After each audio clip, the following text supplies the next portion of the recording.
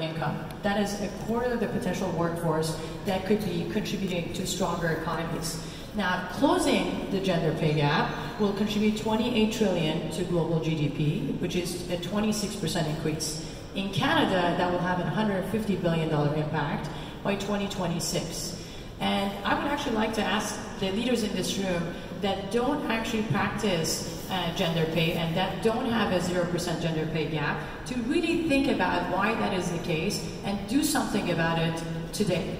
That said,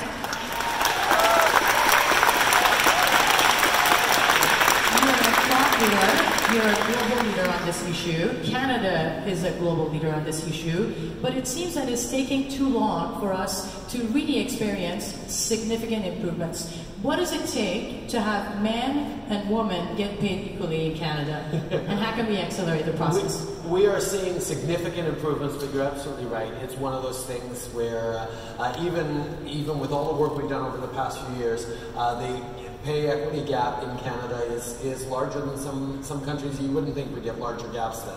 That's why we're working on closing it. Uh, we moving, we're moving forward with a proactive pay equity regime uh, that is going to transform that in a, in a very active way that, that we're very excited about, but that's something we moved forward with just last year.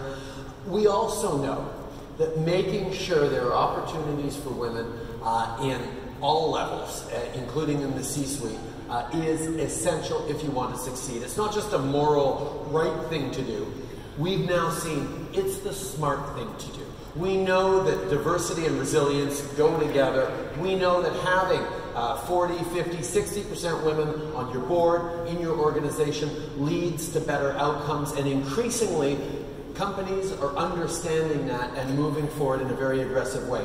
Uh, we've put in specific uh, investments uh, for women entrepreneurs. Uh, part of the VC funding goes specifically towards uh, access to capital for women startups, for women-led startups and companies. We know that that's one of the easy ways to massively boost our output is to empower uh, too many of these women who've been just uh, left aside because of the, uh, the, the, the, the patterns uh, that have led for too long in so many industries, including the tech industry. We know that empowering women to succeed makes it better for everyone. That's why Canada is going to keep doing it. Yeah.